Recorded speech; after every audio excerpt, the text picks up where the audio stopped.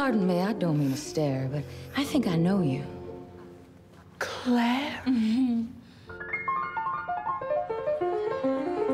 I'm trying to find out the history of the blonde you've brought along. She's a girl from Chicago I used to know. Princess from Chicago.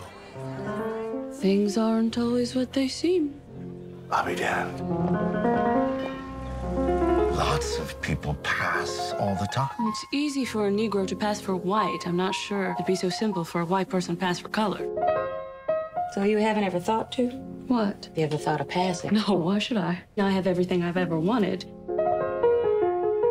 This is my husband, John Bellew. Does he? know?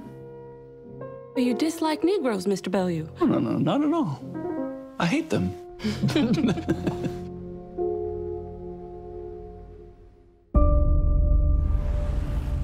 Isn't extraordinarily beautiful?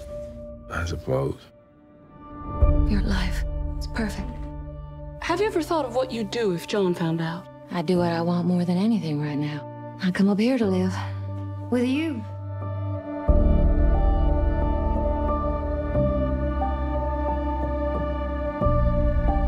You think they'd be satisfied being white? Who's satisfied being anything? Passing for something or other. Aren't we?